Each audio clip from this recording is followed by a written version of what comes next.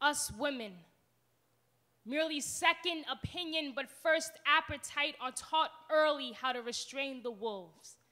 When the men converge, all gnawing teeth and salivating fangs, these insatiable men who snarl us out of our lineage, saber toothed non believers who cannot consider how loud we can be, how brass and trombone this world has played us. There is no place here to unravel ourselves for them. Bow our heads, unlearn our names. For those of us who introduce the bold face of mouth, become a whore's tooth, become agile breasts, become unbounded thighs. I learned to be quiet when the anvils of a false prophet mistook my 13 for playground. Only the quiet survive.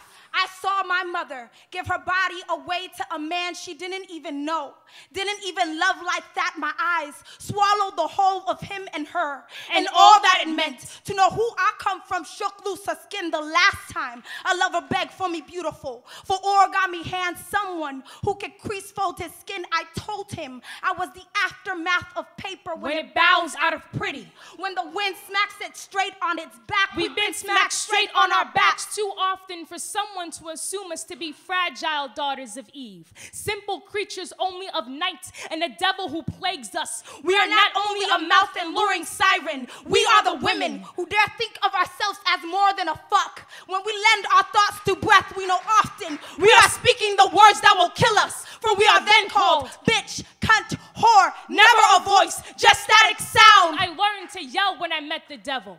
He would make cigarette burns on my mother and call it chimney. Birth me a riot, now I speak with intention. Will not cower to the buildings of men who belittle me orphan. Chastise all that I have to say, it is always too much or nothing, all nag or too shy. When your voice is a shotgun, a warning to the careless that will make sweet meat out of you. Go ahead, I have seen hell enough times to know its scorch. It has taught me to forge this voice into a sword, sharpened tongue that'll carve the bone back into your lost. Your stone jaw threat does not cause my peace to be still.